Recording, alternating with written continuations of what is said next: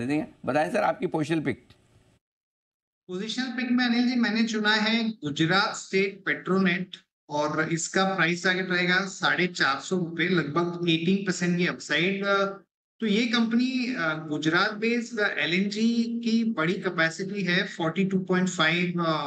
एमएमटीपीए और टैरिफ जो पिछले क्वार्टर में अच्छा रिविजन हुआ था और उसमें जो हाई मार्जिन वाला कंपोनेंट है एचपी वाला, उसका कंट्रीब्यूशन बढ़ रहा है और ये कंपनी के पास दो इन्वेस्टमेंट है, गुजरात गैस और साबरमती गैस। तो उसके अंदर भी जिस तरह का पीएसयू के अंदर रिलेटिंग हुआ उसका फ़ायदा मिलेगा। तो ये company uh sum of part basis हमें काफ़ी अट्रैक्टिव लगती है प्राइस टारगेट 450